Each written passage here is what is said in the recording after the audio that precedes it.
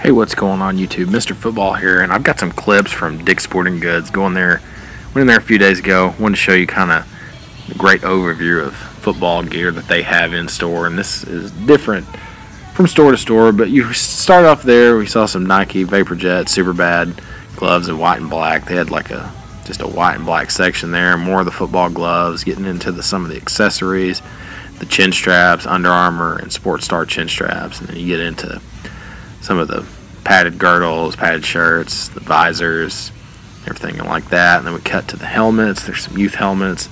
The Adidas Scorch 4, I believe, were $29.99. Definitely a good budget glove.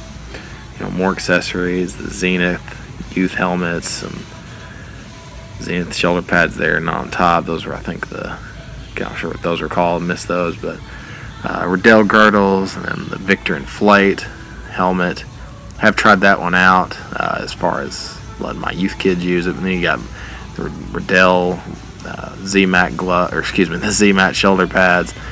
Got the Speedflex youth helmet and the Victor Inflate. Definitely the helmet that they're featuring. Both helmets are they're featuring at Dick's right now, as well as the a youth speed helmet that's uh, kind of around for about $200. I did pick up those uh, Nike uh, D-Tack 5 lineman gloves. You'll see video on that in the future uh, if you've not already seen that one.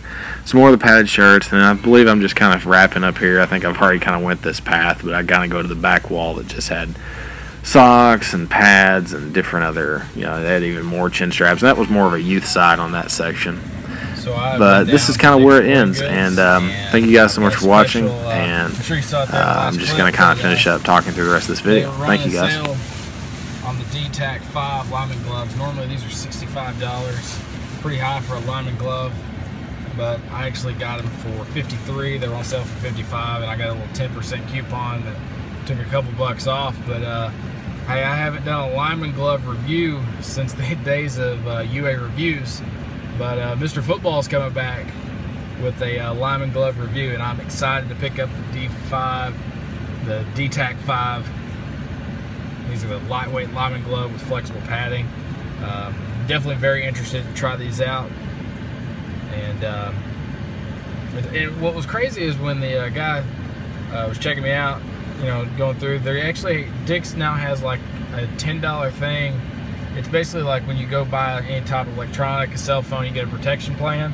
So if anything goes wrong with these gloves, you just go back in the store and you, uh, it was like for one year. So I think that's very awesome that they're doing that. I didn't pick it up because these will probably be uh, used in a giveaway in several videos, uh, most likely. But um, yeah, I just didn't see the need to do that because I didn't think I'd be putting these through the ringer.